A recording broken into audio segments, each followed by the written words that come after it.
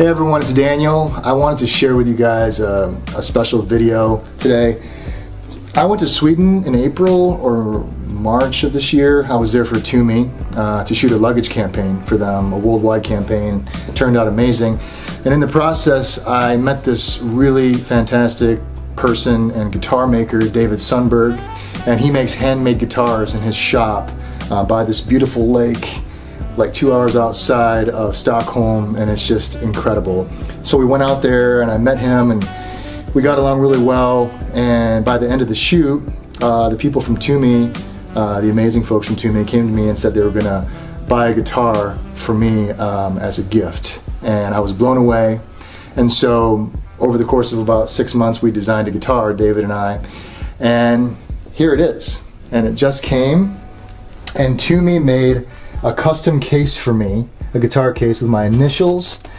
Hey everyone, and it's got these amazing, I mean, pockets for storage, for your picks, for your capos, for your books, anything a guitar player needs. And of course, the best part of this is this beautiful guitar that David made by hand.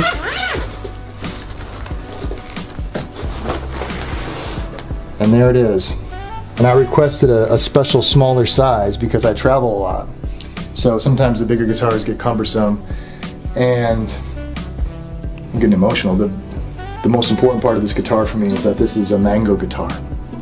And so I had David, he has an inlay artist that he works with that can take a picture and put it to anywhere on the guitar you want. And so I took one of my favorite pictures of Mango, uh, who we lost in June, and we had her engraved in the neck of the guitar.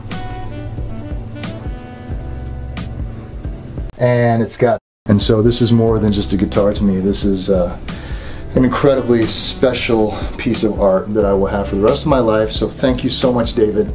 This guitar is amazing, and not only does it look amazing, does it smell amazing because I can still smell the varnish and stain, beautiful mahogany and the spruce, but it also sounds incredible. So.